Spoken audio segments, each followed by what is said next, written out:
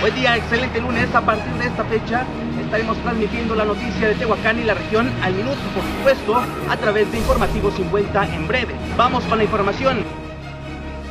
Afirma la Profepa el uso de la fuerza pública para llevarse a los animales del zoológico del diputado Sergio Gómez Olivier.